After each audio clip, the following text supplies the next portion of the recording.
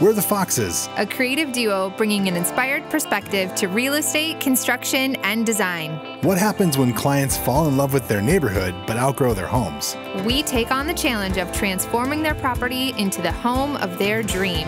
This is The Upgrade. We made it. We did it. We're done. We're done. Nine months later, a much larger puppy than we had before, and a finished house, and we are so excited to show you the final product. We really are. And was it only nine months? Maybe It- 10. it Maybe felt 10. longer. I don't know. It felt like forever. It did. Tons of work. But now we're gonna show you guys in a rollout of videos and, and we're so excited to show you a few different parts. It's gonna be a lot, so buckle up, let's go.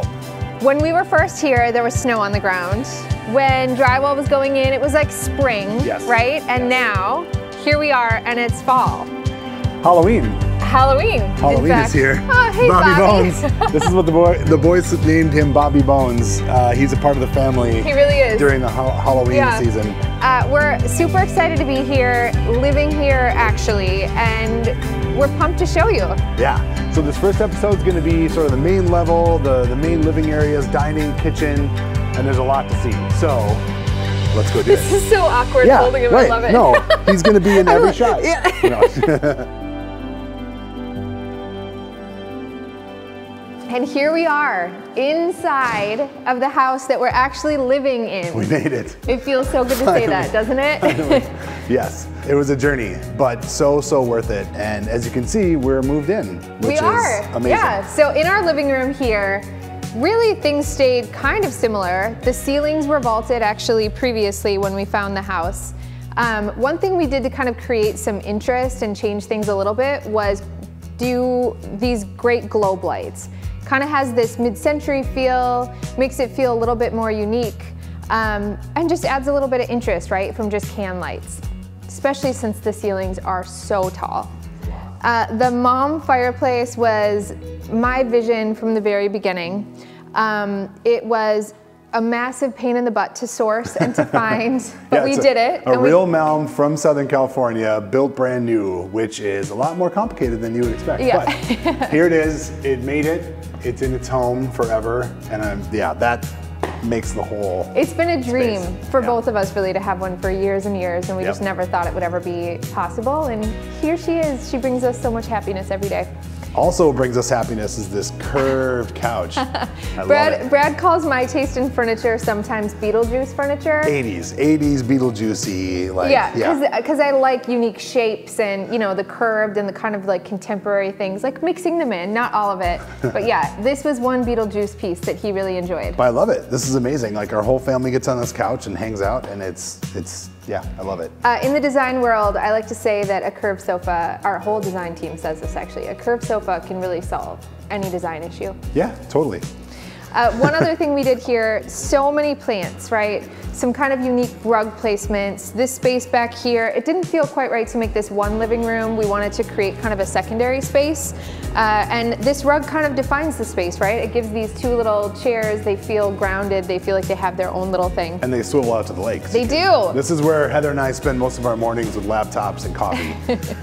um, the back of the house I can speak to, we did all new windows and actually it looks similar, but it actually was completely opened up and reframed. So we actually got more glass, more windows than we had before, which is amazing. The whole point of this property, when we saw it, we were just blown away by this lot and this view. So the key was to get as much glass back here as we possibly could. So this is this is my doing, and I probably went way over budget, but it's worth it because if you can't see this, then what's the point? Uh, this space here was something that almost every partner that we have, every contractor that we worked with would question. They would kind of wonder what the heck we were doing with this area that was like sunken down. So we created this great little pit. Um, we had a custom upholsterer do all of this upholstery. I found this fabric online at an incredible price, which really helped out. the cushions have zippers so we can easily like wash and take care of it. Because let's be honest, my kids are stepping in here all the time. My favorite part about this house is that we live across this whole back, and the whole point was to bring everything from the front of the house, which is where it was, to the back of the house so we can see the lake all the time, right? That was the whole point. Yeah. So this wonderful living room is also open to this amazing kitchen. This is all you, like you put this whole thing together, so I feel like you should tell them about the kitchen.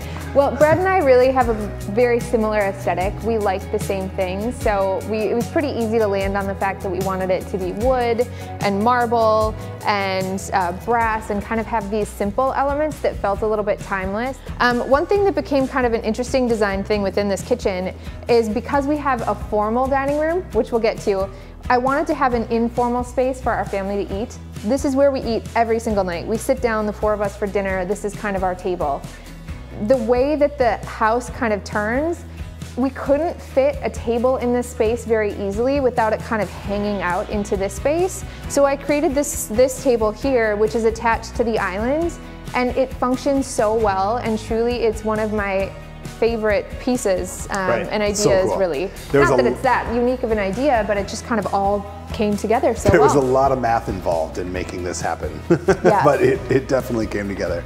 Okay, speaking of math, this wall of cabinetry is so beautiful and I love that you did this in wood, but it gave me, it like kept me up at night trying to make sure that we would get this to all be flush.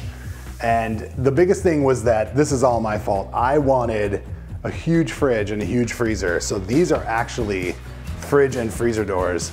Don't judge our cleanliness in our uh, fridge here, but this whole thing had to come together. This is one brand of appliance. This is another brand of appliance. These are all custom cabinets. So this whole thing had to become had to come together. And I think we had like what four or five meetings, literally just standing here trying to figure this out. So speaking of a lot of meetings, we also met a lot about this. We did, yeah. We worked with Marvin Freitas. He's incredible. He is a true artist, obviously. Look at what he's created here.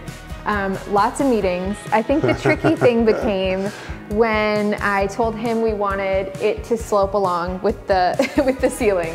Then it was like, okay, well, how are we going to do that? And Right. obviously, it all worked out. It turned out beautifully. The actual mechanics of the hood vent are up in here. This is on an actual like steel frame. Steel frame, And yeah. then Yes. uh, the brass is, is on top. If there's ever a tornado, we'll just our family will stay right here because this is the most overbuilt hood vent ever.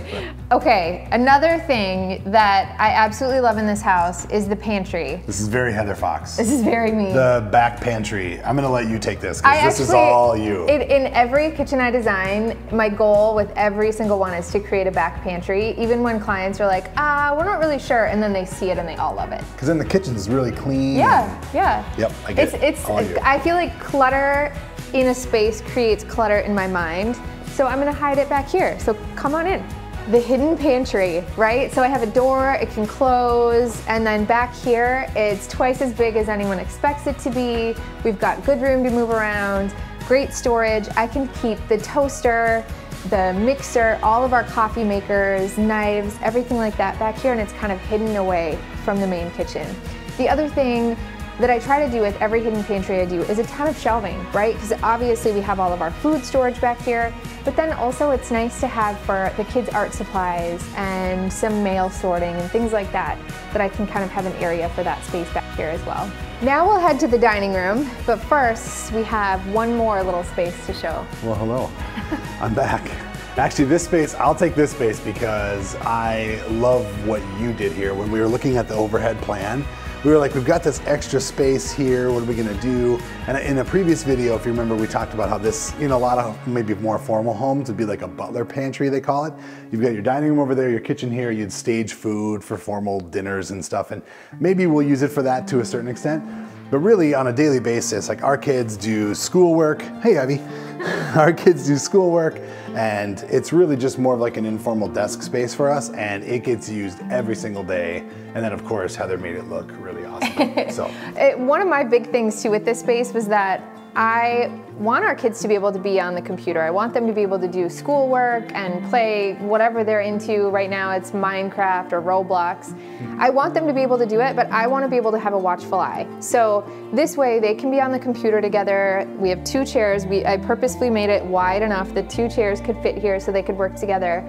And I'm just right here in the kitchen and I'm nearby and I know what they're looking at and I can kind of have, uh, you know, they're small, they're eight and 10 and the internet's a weird place. So it's nice to have them just right here and we can slide the computer back so they can work on homework. We kind of use this as a little bit of a mail center too. So sure. it's been Well, a really nice addition. on a construction note, we kind of added this space in and didn't really know how to fill th- things in, and we didn't know if we wanted to put like a ceiling on it and totally box it out, which we did not really want to do. No. But then it was completely open, and then Heather had the idea to do sort of a post and beam kind of look with these beams. They're not structural, but they kind of look like they could be. Um, I'm just kind of talking about your design because I think it's really cool. So uh, I love that. As we were designing this space, uh, it was kind of funny actually. Brad was the one who really wanted a formal dining room. In Yeah. our last house, we had just kind of an informal space. It worked great, but whenever we would have friends over or family over, we just didn't have enough space for everyone. And Yeah, it was truly, Thanksgiving, and we were all sitting around the coffee table and like the six people at the dining room table, but that and then the island. It was people were everywhere. So I was like, oh, maybe we do want a formal dining. room. yeah, and, and I think because we have the space, we will kind of end up being the house that entertains and hosts family a little Yeah, bit more. I love that. So here we are, formal dining room. And I was like, okay, if we're gonna have a formal dining room, it can't feel too formal. That was my biggest thing, is I want it to feel like an inviting space you wanna hang out in. I want it to be casual enough that if we have a couple friends over, we can still sit here without feeling like we're in this formal space. Yeah. So enter our nice tropical vibe. Um, these lights, which we absolutely love, right? They were Yeah. super fun. Brad questioned a tiny bit right at the beginning. He didn't want it to feel like we were trying too hard with the tropical thing, and it worked out, right? Yeah, they're good. It's good. It's subtle. It's like, um, well, they're not really subtle. They're awesome. it's just fun. I love the vibe. Like, I just think we keep everything fun, but it's not crazy. Yeah. Yeah. And all of this furniture uh, is available, well, most of it's available at Foxwell. Uh, at, like this piece here, I saw it and instantly knew that I kind of wanted to create the rest of the dining room around this. This Yeah. reeded fun thing with these big vintage handles.